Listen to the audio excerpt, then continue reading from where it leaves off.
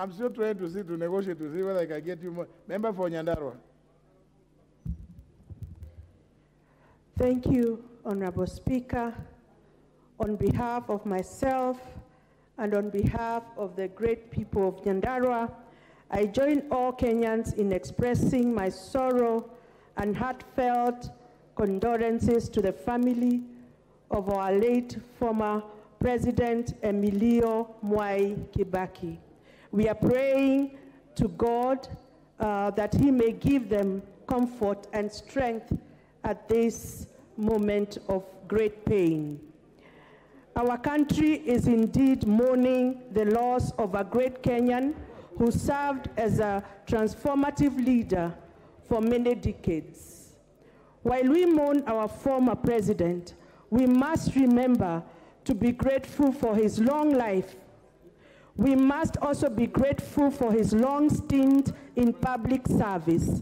Since the early days of independent Kenya, he served as a minister, vice president, opposition leader, and finally as president. His long story carries a significant lesson for us. He leaves with us a legacy of service, indeed a great man. The late Mwai Kibaki taught us that leadership is an opportunity to serve others and not to simply satisfy greed and fulfill selfish desires.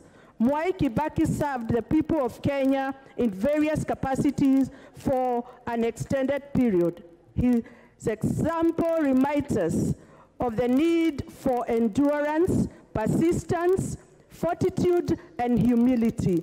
Let all Kenyans carry this with them the memory of a man who served his people and continually sought to improve lives.